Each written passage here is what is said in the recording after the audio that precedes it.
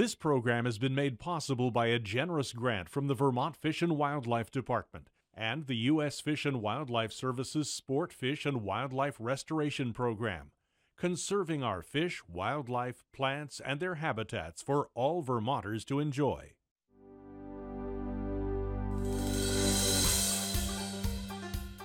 Since the first modern deer season was held in Vermont in 1897, hunting opportunities have steadily evolved as the deer herd and hunter interests have grown. But changes came in a piecemeal fashion. And deer management, hunting season dates, and other rules were controlled by the General Assembly. In 2004, legislators gave the Fish and Wildlife Board greater authority to manage the herd and set new regulations. Since then, the board has made some significant changes and received several petitions to expand hunting opportunities, which earlier this year spurred the Fish and Wildlife Department to launch its first ever comprehensive review of deer management and deer hunting opportunities in Vermont. Join us as we discuss the comprehensive review plan, where it might lead, and how the public can weigh in on Deer Management and Outdoor Journal Special.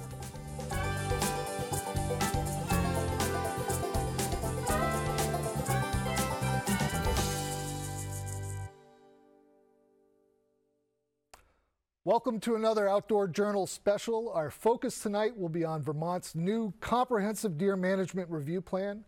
I'm Lawrence Pyne, your host for the next hour, and joining me tonight to take your calls and discuss this issue are Patrick Berry, Commissioner of the Vermont Fish and Wildlife Department, Adam Murkowski, Vermont's Deer Project Leader, and Brian Ames, Chair of the Vermont Fish and Wildlife Board. We welcome your calls if you have questions or comments for our panelists. You can email your questions to connect at vpt.org or you can join our live chat online at vpt.org. Gentlemen, welcome. Thank you for coming. Thank you for having me. Thanks for having me. Thanks. Commissioner, I'd like to start with you. We've been hunting deer in Vermont for 116 years now. Why, why a comprehensive deer management review now? Well, I think the introduction gave some pretty good background. We get a lot of feedback from hunters uh, either through the Fish and Wildlife Board process, which I know we'll talk about in a little bit, through the uh, deer hearings about all the different things that we could do in managing deer. It's not so simple as the rifle season. Most people think deer rifle season is that magic two weeks, but there's bow season, rifle season, muzzleloader season. Um, there have been uh, ideas to have an early muzzleloader season, extend the archery season, allow for crossbows, actually potentially move the current rifle season. And rather than uh, looking at any one of those by itself because they could have an impact on how you manage the herd in general. We wanted to look at everything more comprehensively while also understanding and being very sensitive to traditions that a lot of people share in Vermont about what a hunting season means. And having, you know, Adam Murkowski as a new deer project leader allowed us to take a fresh look. So the timing was really good with hunters asking us to do some different things and with having a new deer project leader, it seemed like a really good time for it and the, and the, public's a big part of this process. The public is integral to this process. We're really lucky that we have Vermonters who are very passionate about deer, and they, they love to come to deer hearings and tell us how they feel. A lot of times, people who are happy with the way things are. They like rifle season where it is. They shot a really good buck last year. They're generous. A lot of times, they're not going to show up at those hearings. This was a way to engage everybody, to reach out into the public, find the regular hunters out there who just they, they love this. This is what they look forward to every year, and get some feedback from them. So um, we did a lot of advertising. We had it on our website. We issued press releases. It was, I think people would have seen it in their local weekly newspaper looking for folks to be a part of these regional deer groups so that we could get some direct feedback from probably some different folks that may not always come to those regular deer hearings. Brian, the board is, is a part of this review process, and in some respects, you guys really sort of initiated it with the petitions you've been getting and the, the information you've been asking for the department. For the benefit of viewers who aren't familiar with the Fish and Wildlife Board versus the department, what is the board? What is your role? Well, the board's role, the board's the regulatory body for the Fish and Wildlife Department. Uh, there's 14 of us, one from each county. We're appointed by the governor for six-year terms. Um, we deal with things like uh, methods of take, bag limits, seasons, dates, times, uh, those sorts of things. Um, the board is made up of sporting people from around the state. Um, we're the ones with the largest vested interest in the resource. And we're the ones who should be regulating that resource. And Adam, you're new to Vermont. You're a, you're a Wisconsin native, but you've been here for a little over a year now. You've been through some spring deer meetings. You've, you've been through a fall hunting season. Before we get into this review process, any impressions on our habitat, our herd, our hunting culture? What, what stands out to you after one year? You know, I think, uh, you know, as Commissioner Berry said, uh, Vermont has a very strong hunting tradition, and I've been very impressed uh, not only with the hunters I've talked to in terms of, of their passion for deer hunting, but the types of questions that they ask. Uh, when you listen to a Vermont deer hunter ask, ask me specifically questions, they're asking uh, the types of questions that you wouldn't expect hunters to have uh, an understanding of concepts in terms of uh, when doe should be harvested, uh, when season structures should be placed uh, to take advantage of deer behavior. And I've been very impressed uh, with the types of questions that I've been asked. And in terms of Vermont overall, Vermont has a very healthy deer herd and the types of data we're collecting from a management standpoint, Vermont's uh, doing a better job in terms of collecting and understanding the health of its deer herd uh, than any other state, uh, many other states. So that's been good to step into that type of situation with that long history uh, of sound management. Uh, that really facilitates your ability uh, to interpret what's going on in the deer herd and, and to have hunters asking intelligent questions means we can have good conversations about deer and deer management. So, so we, we have an informed hunting population and we have the information, hopefully, that we need. Commissioner, members of your department have said, as you know, this review that everything's on the table, including that 16-day yeah. rifle season, which, you know, for those of us who started hunting in the 1970s, you know, we thought was chiseled in granite somewhere up in the mountains or the state house. Is everything on the table? Season dates, bag limits, implements? Yes. Is anything off limits? Uh, no, I think the short an- answer is yes. I mean, there are certain sidewalls within which we have to work um, for both the health of the herd and the health of the habitat. And that includes deer densities throughout the state, which um, you know can vary depending on habitat type, winter conditions. But as far as methods of take and seasons um, and potentially some other opportunities, sure, it's on the table. And I mean, I you know we've had some mild winters recently, and even some you know dyed-in-the-wool hunters who love the season where it is. You know, have said, gosh, maybe we should move the whole season back one week into December you know, when, when I was a kid, I used to be able to track bucks in the snow during rifle season, and you know, I've been able to do that, or it's been a very rare occasion. So even that, uh, you know, I guess immovable object in management is something that we at least want to discuss, or at least hear how people feel about it, and, and add it to the mix. It's interesting. I spent some time researching season dates in Vermont, going back all the way to 1897, and and like a lot of people, our generation, I thought this was what the way it always was all four of the seasons we have right now are not in the same form when they were introduced youth, bow, muzzleloader, rifle. And if you go back in time, the rifle season was all over the map. It was in October, it was in November, it was a month long, it was eight days long. So there's certainly a precedent for changing season dates. I think a lot of fish and wildlife regulations have been the same for as long as people can remember. But to your point, it doesn't mean that they weren't all over the map for decades prior to that. So, you know, it's, it's I think it's worth taking a fresh look. Right.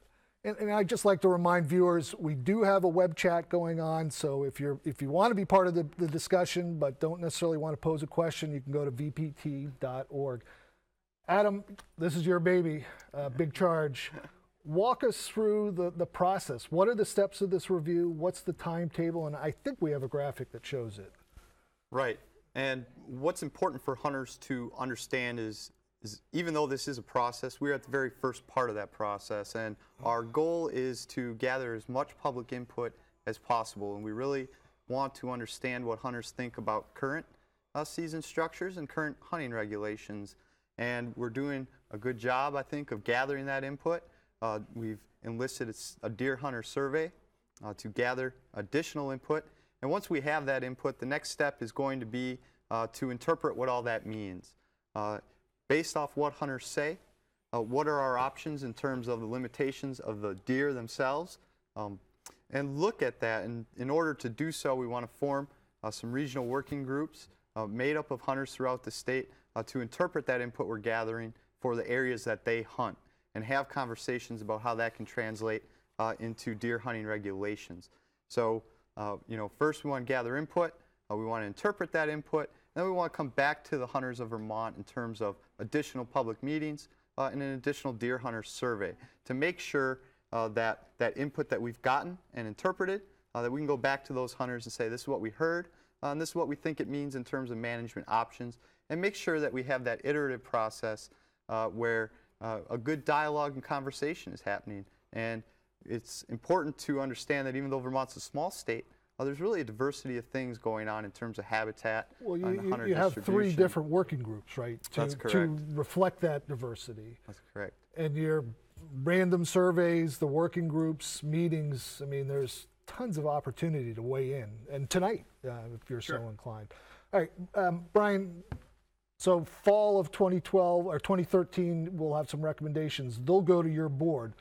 What's the next step? What does the board do? Will you hold hearings after all this public input? We will. We'll sort through all the data. I mean, the department will bring us a, a proposal and a, and a presentation at one of our board meetings where we'll go through all this data.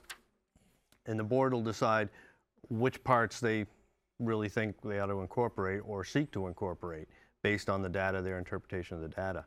Um, if we decide to move forward with changes, the board will definitely have public hearings. And I think in 2014, the spring, late winter and spring, you can expect So, so actual regulation changes, be it legalizing crossbows Mm-hmm. or extended archery, we wouldn't see them till the fall of 2014. That's correct. All right, yeah. so, th- so there's still a ways out.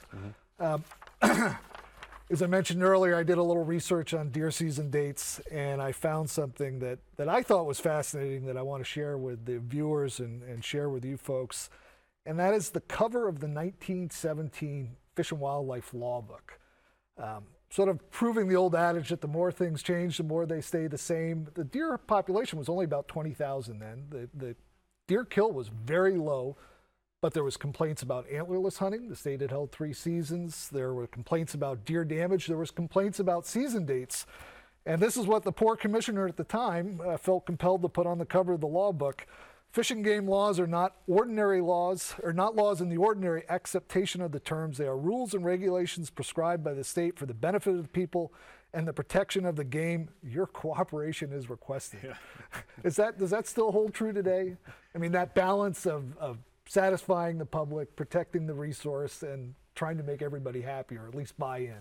I mean, one of the one of the most important aspects of having a robust public process is because some wildlife management is very much about biology, ecology, the animals, the habitat, but a lot of it is social. What do people want to see out of their deer hunting opportunities? I mean, that's why the antler point restriction was put into place in 2005. So, you know, to be able to look at all of the different options out there is very it's, it's very similar to what he's talking. You know, it's it's it's very much social and biological. and and the public's cooperation is requested. All right, we have our first caller, uh, Rodney from Duxbury. Go ahead, Rodney. Hi, I guess my question is, how can they put a limit on deer what, when they don't know what the winter kill is going to be? How can you put a, a limit on deer when you don't know what the winter kill is? Um, I'm not. M- uh, Maybe his question is is related to uh, knowing what our antlerless season proposal would be, Right. but we don't actually make those recommendations until we after we have looked at the winter severity index, which gives us a good indication of how harsh the winter has been, and and uh, we've got a lot of really good data that tells us what the winter kill would be. So. You know, hopefully that's what the caller was referring to. So we do wait till we have that data before we make recommendations. And, and you have health matrix or measurements from the fall. You know how the deer herd was going in, what the winter is, and that's that's what drives the antlers process. It really is. And what's important for hunters to understand is that each year the department is aging and looking at the health of a large number of deer. And that information, uh, when you look at individual deer, uh, by looking at individual deer, you can tell how healthy the deer herd is by looking at how healthy individual deer are. So each year, the department is aging and examining a large number of those deer. We also have mandatory registration, so we know how many deer were harvested and where. And I think uh, the commissioner hit it right on the head is once we have that information, it's a matter of waiting for uh, winter to pass. And we have a good understanding uh, of what winter means, uh, the severity of the winter in terms of the impact on the deer herd. And we collect that information across the state. So uh, once we have harvest information and health information, uh, we have that winter severity information, uh, we're in a position to interpret uh, the status of the deer herd and make some recommendations on what we think the next year's hunting season should be. And, and Adam, we have a, a graphic showing the, the uh, winter severity index over the last 20 or so years. And, and that's a measure of days when the temperature is below zero and snow depths are above 18 inches, which is about the height of a deer's belly. That's right. Uh, winter severity, uh, we have a number of volunteers throughout the state that collect this information, and so we can interpret it regionally. Uh, but every day that the temperature drops below zero, or the uh, snow depth exceeds 18 inches, which is the depth at which snow hits a fawn's belly, uh, we record a point um, because those are conditions that put uh, additional stress on, on the deer as they make it through And, winter. and that graph certainly shows what I think we all empirically know, which was the last two winters were pretty darn mild. In fact, well, the last winter, uh, the 2012 winter, was the mildest since state's been tracking that. I want to get to some email questions. Uh, the first one is from Ed in Brandon. I have attended one of the spring deer meetings almost every year for the past 10 years, and every year hunters say the same thing. We'd like to see more deer out there. But nothing changes. You keep on issuing lots of antlerless permits and managing deer at the same low level. It's very discouraging, especially when you take a kid out and cannot even show them a deer. My question is, why should we believe you when you say you want hunter input? That's pretty. Uh, It's a it's a it's a really good question, but I, as I mentioned earlier, I'd say two things. One, there are certain sidewalls within which we have to work. I mean, we're actually not just in terms of our mission in the department in, in wildlife management, but we're statutorily required to manage deer within the available habitat resources. And you know, I've mentioned this before. I mean, you know, Vermont deer hunting and deer populations have changed as the habitat has changed. When whereas we you know used to be able to support a couple hundred thousand deer, they maybe they weren't as healthy as they are now. We just don't have the habitat. Um, but you know, we also you know, these hearings are important to get feedback on a variety of different things, and certainly we hear a lot about that. And certainly, deer hunters gauge a lot of their success by what they see. Uh, I mean, but what, what's the harm of managing for a few more deer? We know we saw Right. it in the early 1980s. If we want to knock the deer herd down, we can do it very quickly. We did- What's what's the harm of just bumping it up 10 percent? we did surveys and we asked Vermonters whether they wanted to see bigger deer, and the answer was yes. And in a place like Vermont, this is not Ohio or Pennsylvania as much as people would love it to be. With at the northern edge of their range, with severe winters and some limited habitat, you can either have big deer or you can have a lot of deer. It's really hard to manage for both. In certain parts of the state, we do. So we we did listen to hunters when they told us they wanted bigger deer, and that's over the last you know six or seven years. That's what we've been managing for. And some people may disagree with that, and that's I think what that But you- so about. you're saying that, that more people want the big deer than want to At see least more surveys deer. from, you I mean, it's certainly something you hear a lot of. I Yeah. go out there and I don't see deer. We have a caller on the line from Eden. Eden, go ahead, please. Yeah, um, I'm curious. I would like to see some spike horns being shot instead of instead of the person having the choice shooting that nice, beautiful four pointer that's going to be the good genes is what we're taking out just to save these spike horns. So it, it gets to the antler point restrictions, um, which a lot of people like, and I'll put myself in that category. I'm seeing better age distribution, but there are concerns about protecting spike horns that we're high grading the herd, genetically modifying it. Antler restrictions are part of this discussion, this Abs- review. Absolutely, and and uh, for those viewers that don't know, high grading is a forestry term right. Uh, that uh, you go into a forest stand and, and you remove the good bucks uh, or the good trees, uh, you know, and, and if you do that repeatedly enough, uh, all you have are the lower quality trees growing, and that over time dilutes uh, the quality of your stand. So uh, I think what's important for hunters to ask uh, is what are antler point restrictions? And antler point restrictions are a hard hunting regulation, a harvest uh, regulation that is meant uh, to move deer from the year and a half year old age class into the two year old age class. And the antler point restriction uh, has been successful in doing so. So the antler point restriction is really a harvest selection criteria imposed upon hunters uh, to have a goal uh, of a diversified buck age structure. So, you know, are there better ways of doing that? Uh, certainly, uh, there are a number of ways you could achieve the same thing. And I think anywhere uh, antler point restrictions or any type of artificial selection criteria have been implemented on the deer herd, uh, there's long-term concerns for the health of those. And that would occur uh, whether there's a two-point on the side rule or a three-point on the side rule. So, you know, that's a definitely legitimate concern, but it's a concern that's going to be there regardless of uh, the antler point restriction as long as there's that artificial selection criteria. One of the other concerns I hear about the antler point restriction is that it's it's costing us opportunities to put deer in the freezer. You know, primarily during the rifle season when the vast majority of hunters are afield. Uh, it's a concern I've heard, and and I went back and looked at some of the the uh, annual harvests since the antler point restrictions went into place. Our annual buck harvest uh, averaged out is just a smidge over 8,000.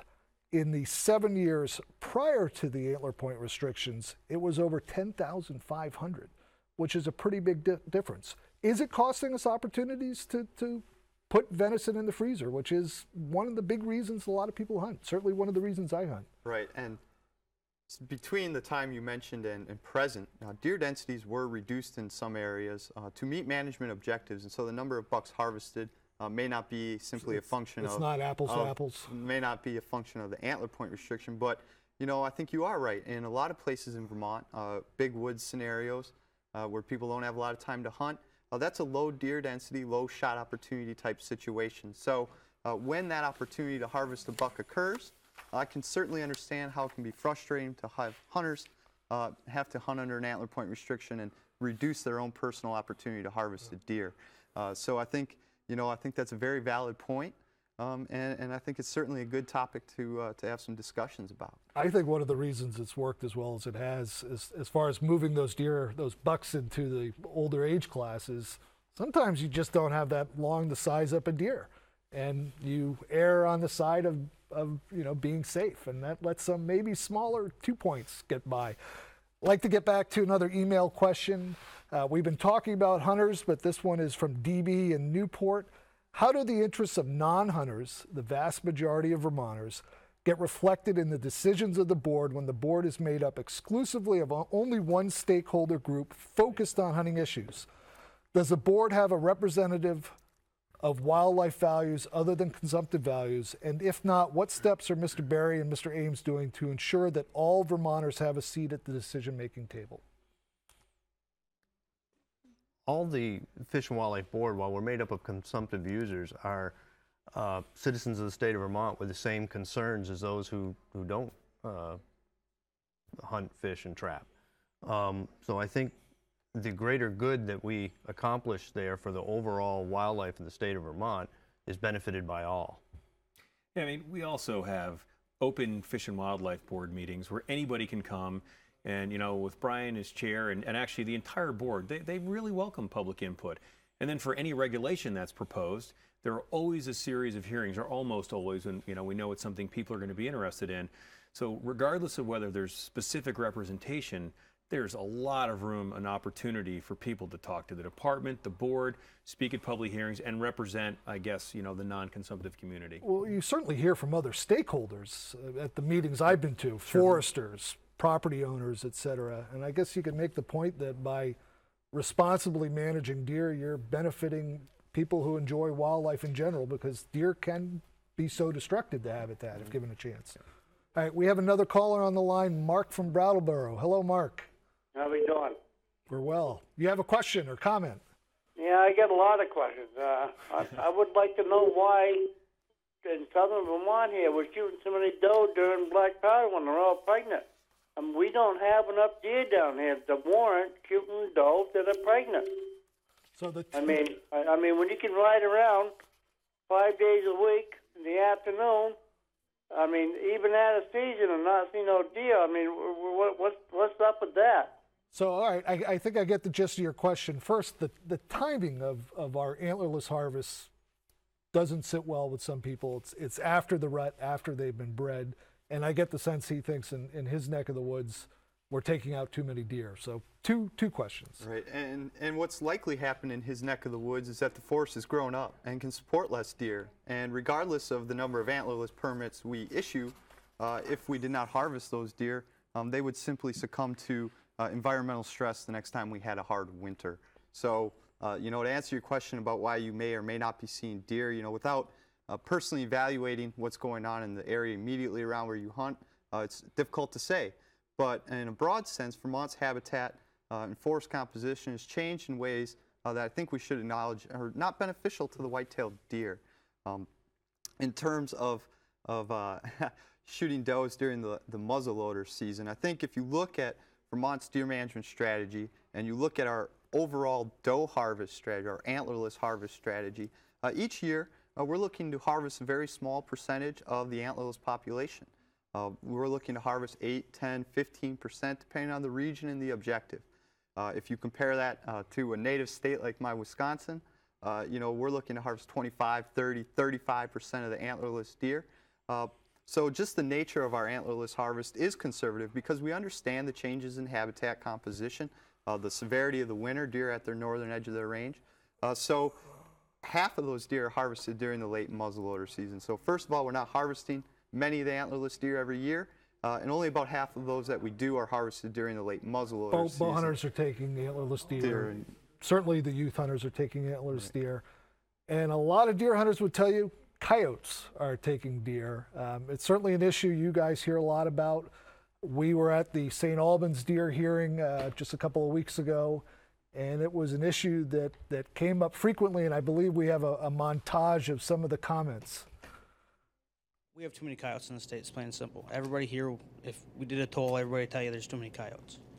They're they don't affect yes our mature deer and our healthy deer. They do affect our fawns. Our fawns are our future. Last year, I shot four coyotes just during the deer season. I mean, they're like all over the place. Uh, even this year, we're seeing like fewer deer in our area, a lot of coyote tracks. You'll find that there's plenty of data out there in Maine that basically has a very valid concern that coyotes are taking a big chunk out of the deer herd as far as fawn recruitment in the spring. I mean, there's a lot of fawns being harvested by the by coyotes right now. If you wait to see that, then you've already waited too long, haven't you? Why is it you care about everything else, but you don't seem to care about the coyotes that are that are killing off uh, our deer hunting and, and other animals? In the woods that I hunt in, if you shoot a deer with a bow and you go, "Ah, I'm not sure about the hit, let's let it set for two hours. By the time you get there to get on that deer, you know where it is because the coyotes are already on it. Coyote predation is a problem. There's no doubt about it. I don't think there's anything you guys are going to do about it. But everybody that's sta- sitting in this room tonight are hunters. If you got a problem with coyotes, get yourself a coyote call. Get yourself an electronic call. Go out and whack a few. You get coyote questions. First off, coyotes eat deer. We, we accept that they eat deer. no one's denying that the coyotes and predate they, deer. they, they, they predate fawns. So how does that factor in if, if, if, if that is the case? Right, and you know we do hear from a lot of hunters that they're concerned about the number of coyotes they see and, and the effect that predation may be having on the deer herd. Um, and I think it's understandable. A lot of our hunters are are aging, uh, and when they grew up, there were not as many predators on the landscape. So to them, uh, having this amount of of, of uh, diversity of predators on the landscape uh, is something new, and, and I can understand how that would influence their perception of of what's going on. Uh, if you look at Vermont's pop, deer population from 04 to 2007 under very restrictive antlerless harvest, uh, we saw tremendous growth in the state's deer herd. And that would suggest that predation alone is not enough to slow the growth of deer herds in many parts of the state.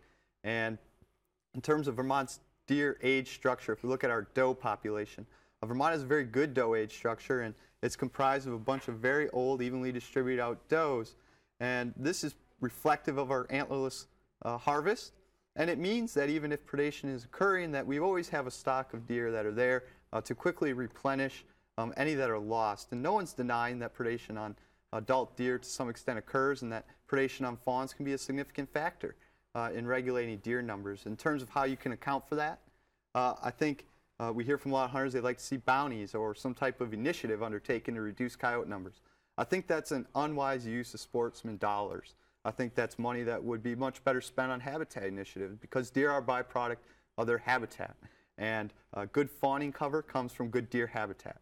So, uh, you know, in terms of what we can do uh, for coyote numbers, I think it's important that hunters understand that we're taking that into account when we model deer populations in terms of overwinter survival and over summer fawn survival. And it is a significant factor uh, in, in our interpretation of the harvest data. And we certainly, certainly take into account predation. So it's built into your models like winter severity in terms of how many antlerless permits we need to issue. Exactly. All right. And I was surprised that you have the authority to to essentially institute a, a coyote bounty program. As long as it doesn't involve poison, but um, as Adam said, probably a better use well, of it's poisonous dollars. you know that's a tough one. Is where you're going to get the money from, and I think that uh, socially that would be a challenge too. I mean, as Vermont's demographics change, but I mean we have very liberal seasons for method and take of coyote, 365 days a year. Uh, you know, you can trap them, you can shoot them, you can run them with dogs. well, here's here's something that was raised at the St. Albans issue that is is for Brian's board to consider, which is you cannot night hunt them. And in Maine and New York, you're allowed to hunt them during a very limited winter season with nights. And and people will tell you that your your odds of calling it a coyote are much better. They're much more active at night. Is that something the board would ever consider? I think we would. Um, I, one of my employees, an avid coyote hunter, he hunts under the full moon. It's probably when he's the most successful, actually.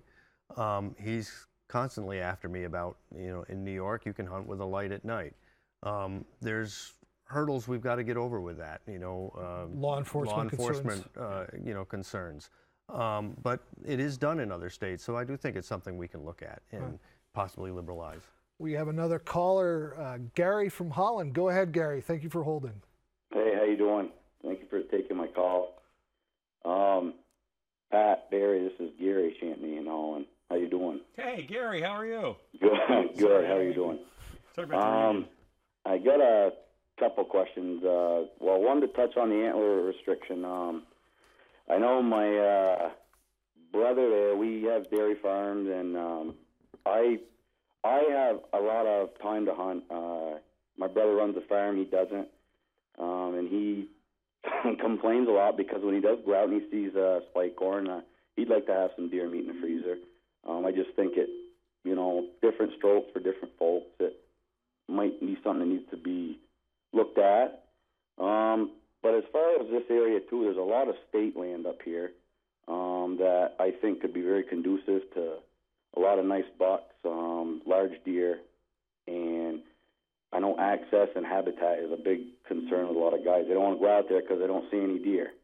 And I didn't know if there's any way you guys are working currently or can with like A and R or somebody like that to I don't know strip cut or you know to improve the habitat on the state land. And, and Gary, you're you're right next to the uh, the Sladyk WMA, which is one of the largest WMAs in the state. Yeah. What, what's going on there, Pat? We, you know, actually, that part of the uh, the state where we have a lot of land, Gary, uh, we actually do a lot of active management there. Probably more up there than other parts of the state. I mean, we have to we have to look at what property we have and see if it's conducive to to active management. But you know, there's been a fair amount of timber harvest off a lot of those WMAs up there. You know, the Sladyk is one, Steam Mill Brook is another. Um, you know, there's some state forest up there, which aren't too far, you know, isn't too far away. There's the Atlas Timberlands up there, where there's a lot of harvesting done. I mean, that part of the state is right on this fine dividing line between, you know, that Magog Valley, the Memphremagog Valley, and I, I know where his, his brother's farm is, is right on the Derby Road Holland, right there.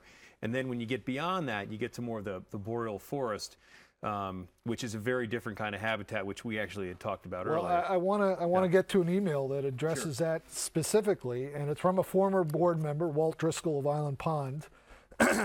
Wildlife Management Unit E has the largest square miles of potential deer range of any wildlife management unit in Vermont, yet consistently has the lowest deer per square mile and the lowest deer kill in the state, despite no muzzleloader doe permits or the taking of does during archery season. Hunters that hunt WMUE are at a loss as to why the deer herd has not rebounded since the 1980s. Some blame the loss of cri- critical winter, winter habitat, the logging, others blame moose, coyotes, poaching. What does Vermont's whitetail deer ma- management team feel are the reasons for the deer herd not rebounding and what can be done about it? And before you answer, because when I received Walt's email, I went and looked at the uh, the annual harvest reports, and it he's spot on with E. Um, it's it has not grown. It's stated very low, and in fact is is trending down. Last year it was 0.26 bucks per mile, which means one buck per four square miles. And I also looked at I and P, which are similar. They're national forest land, tremendous public opportunity, low deer densities, ice, central Green Mountains. P is southern and they're very low and have stayed low despite no antlerless permits. And in fact, both of them declined last year also. Do we know what's going on in these areas? I mean, we're protecting the antlerless deer. Shouldn't we see some growth and having mild winters? Right, and WMUE is Essex County, uh, and, that, and that's yeah. a very unique area in Vermont. In fact, uh, in terms of habitat composition, that's uh, completely different than anything else that's happening in the state, and it's that boreal, uh, northern uh, type habitat, and, and so that's unique in and of itself. And I think Walt's correct. There's, uh, you know, a lot of questions to be asked and answered in relation to why the deer population hasn't increased. I will say if you walk around some wildlife management areas and some deer yards in, in Essex County, uh, there's no doubt that you can see the presence of past uh, high deer numbers. And those deer yards are browsed. And so at some point in the past, you can see evidence of there being too many deer. And you don't see any browsing pressure currently on a lot of those yards, suggesting that density is much lower. And why haven't the deer responded? I think there could be a number of reasons for that, but I think ultimately they go back to there being uh, too many deer at one point in time, uh, and then a loss of some critical cover. Uh, there's been a lot of changes in terms of forest activity, and that's uh, not been always positive for uh, deer wintering Well, well, areas. Champion cut off a lot of the deer yards in the Nulhegan Basin that have not regenerated yet, so that might be part of it also. That, that certainly could be part of it. There's also not a lot of summer range uh, in Essex County. If you're worried about your deer getting through winter, the best thing you can do is provide adequate summer range. And by that I mean, uh, in clear cut type situations, one to three year old early successional habitat that provides Well, a lot of grasses and forbs. There is there the Pat and I are both grouse hunters, and there's early successional cover in, in E, not necessarily in I and P, where the forest is steadily maturing, and there's very little of that summer habitat you're talking about. Right. And, uh, you But know, to, to get to Walt's question, though, I mean, is there anything that you, I mean, other than saying we're not going to harvest antlerless deer, is there anything you can do about it? Well, you know, in Essex County, again, uh, that's a very unique situation.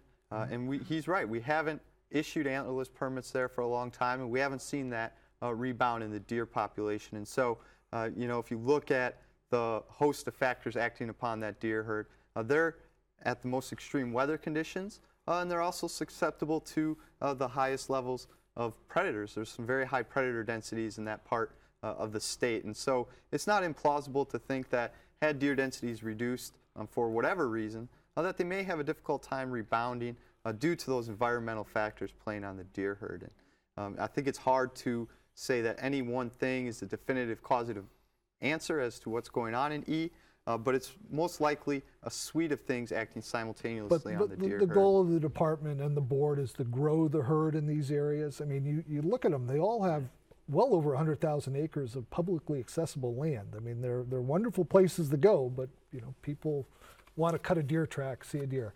Uh, we have a caller on the line from South Glens Falls, New York. Go ahead, caller. Yes, sir. How you doing today? We're well. How are you?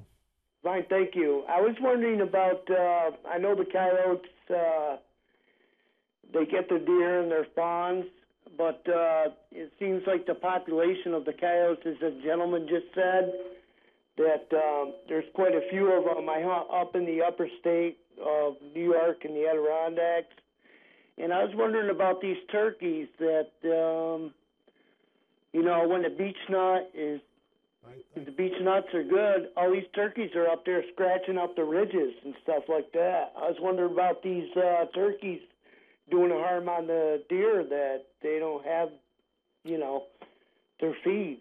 I, I got your question, and it's it's one I'm sure you guys have hear, heard before. You see a, a flock of turkeys going through the woods in the fall, and they're hoovering up those acorns and beech nuts, and the complaint is they're not leaving anything for deer.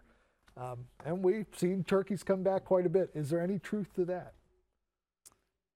Go ahead and tackle this one. I mean, Uh, That's why you hired them, right? well, I, you know, So turkeys, uh, you know, there's no doubt. You know, Vermont made efforts to restore turkeys, and that's been a very successful uh, conservation story and true testament uh, to the conservation mindset of sportsmen and women.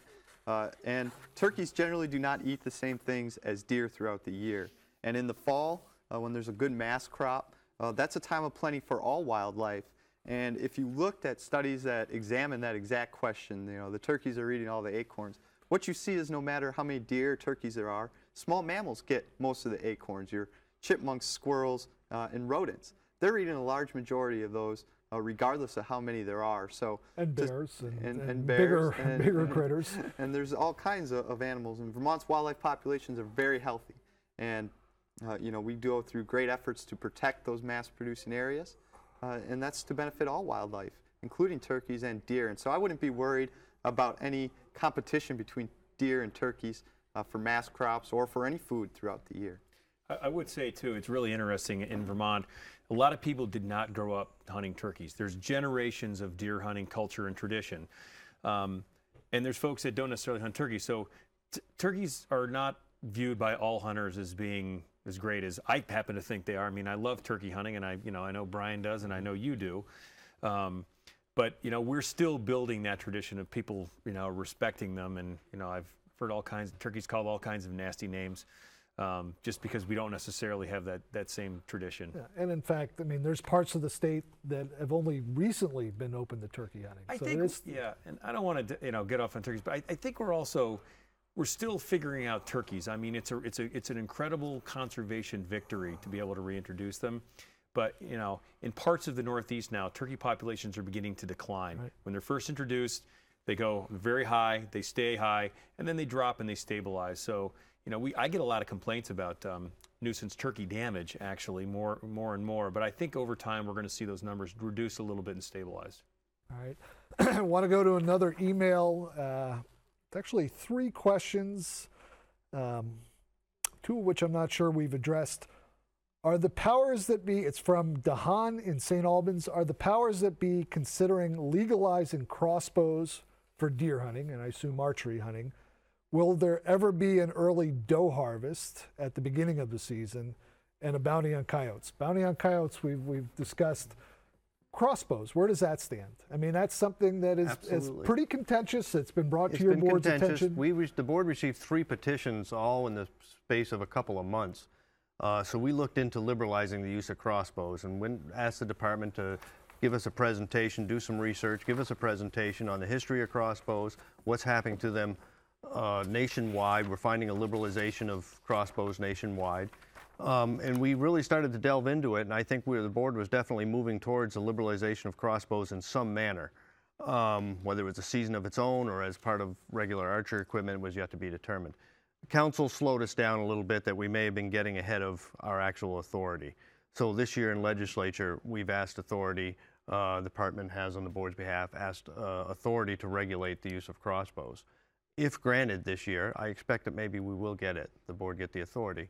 We will look at that issue. and, and when you look at other states i mean there's a range of options some states do it just for hunters above a certain age or for just the late archery season or you know some states do it across the board but it, it seems like you have a suite of options I th- we certainly do, and I think the board will look at all those options. And uh, the same as with any rule, uh, we'll definitely have some public hearings on, on the issue and get it input from as many people as we can. Well, that leads to another question: the public invo- public input in this review process.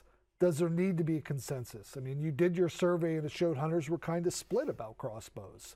Um, does there need to be a comfortable majority of hunters favoring a change like that before the department would recommend it or the board would approve it?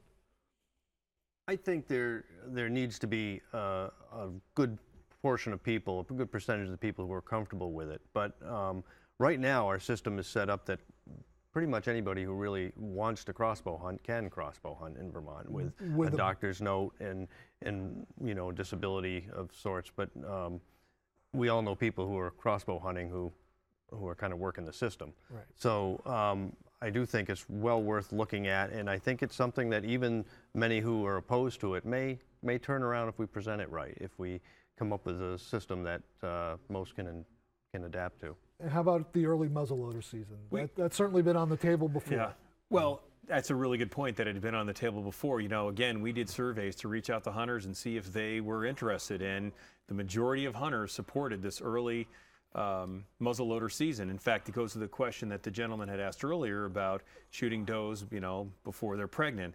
Um, but when we held the hearings, none of those people that said that they supported it showed up. Uh, and your boss was, was kind of outspoken. The governor was- was, in, in, in favor well, of that as a traditional deer hunter. He was yes, he was listening to those hearings, and I think he, you know, traditional is good. Good point too that people are used to having muzzleloader season in December, but I think I think it underscores the point that um, just because you're happy with something doesn't mean you should stay home during those deer hearings. You know, if you like something, it's also important to show up and support that. Um, and you know, we just didn't have those Vermonters that said that they supported that early muzzleloader season just didn't show up. And everybody that didn't like it seemed to have bring their entire family and neighbors with them. And, and that's the Yeah. benefit of the random survey you're going to do, where you'll get Yes. a, a more represent. It's not squeaky wheels. We have a caller on the line from Barre City. Thank you for holding. Go ahead. Yeah, I was curious why um, there isn't just a one deer um, limit for all three seasons. Good question. And It, that, that certainly fluctuated over the years. We've had a one deer annual limit. We've had a two deer annual limit. We now have a three deer annual limit. Why? Why three? Should people be concerned about that? Right, and that goes to an overriding question of why are season structures uh, structured the way they are, and, and there's a number of ways of achieving your management objectives. And what's important to understand if you're hunters is that there are places in Vermont where deer are locally, overabundant, and hunters need to have those tools in their toolbox uh, to manage their local deer herds for deer herd health. And the three deer limit allows hunters the ability to do that. And one premise of our management system is that we rely on hunters to make informed harvest decisions. Uh, just because there's a three deer limit doesn't mean it's appropriate to harvest three deer in, in all areas of the state, and we understand that. So to some degree, uh, we're relying on hunters to make informed decisions, but we still have to have the tools uh, available to hunters so they can continue to manage their local deer herds uh, and make sure that agricultural damage, uh, timber resources aren't being um, you know, overexploited by the deer themselves. And, and the reality is, Commissioner, that are a lot of people taking? No, I? I I was going to mention that too. I mean, I can't remember what- the numbers were for last year, but the year before, I think there were 256 hunters that took a three deer, you know, the- their their limit out of a herd of somewhere between 120 and 140,000, depending on the, depending on the year. So biologically, it doesn't matter. But I do think it's important to respect the caller's point that again, deer management is often a social issue, mm-hmm. and it's something we are going to look at as a part of the comprehensive process. That it matters to people that they feel as though they are going to have a better opportunity if other hunters don't necessarily take three deer. I don't like the idea of limiting opportunity where there's not biological impact, but I don't want to dismiss the caller's concern about what it means to somebody that you know somebody else is taking three deer and they're struggling, you know, getting one. Well, it, it can create other issues. I have a brother who lives in Maine, a very rural part of Maine, where the annual limit is one, and he has uh, observed that the the wives of all his neighbors are really good deer hunters Right, because right. they all get their bucks before their husband do. So that Yeah, one deer limit. Um, and we have another caller on the line. Go ahead, caller. No caller. Yes, it's Danny Call- from Ludlow. Go ahead, Ludlow. Yes, um, I'm just calling. Um, I'm fortunate enough to be one of the um, few, I think, in this state. I'm a fourth generation hunter. I live here in Ludlow, Vermont. Um, there's uh, obviously we have the um, ski industry and whatnot, uh, which is actually cut into um, the deer population and or my hunting uh, area. Uh, what has the out-of-state uh, influence uh, done um, in, in the decision making of the state of Vermont regarding uh, just about any of the deer deer. Uh, How, how is it cut into your How is it cut into your hunting opportunity in terms of development or posting? How is A- it? Absolutely, it's um, a combination of development. Um, uh, unfortunately, I've been looking at trying to get into more posting myself, um, and it's restricted. I'm one that goes and has an opportunity to spend many an hours uh, in the woods to hunt, um, but unfortunately, uh, there's there's less and less uh, area to hunt on in this area.